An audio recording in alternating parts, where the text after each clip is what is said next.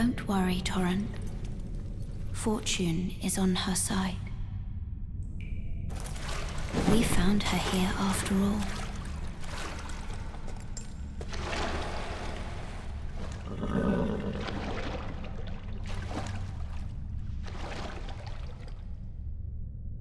One of her kind is sure to seek the Elden Ring. Even if it does violate the Golden Order.